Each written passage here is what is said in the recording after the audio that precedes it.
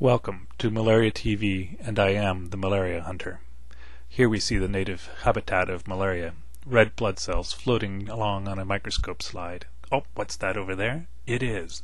This is an immature parasite inside a red cell, and the little bit that appears to be spinning around is actually the stomach of the parasite, where it's pulling in hemoglobin from the red cell around it, digesting it. It takes the iron part and produces a little crystal, which is what you see dancing in this image.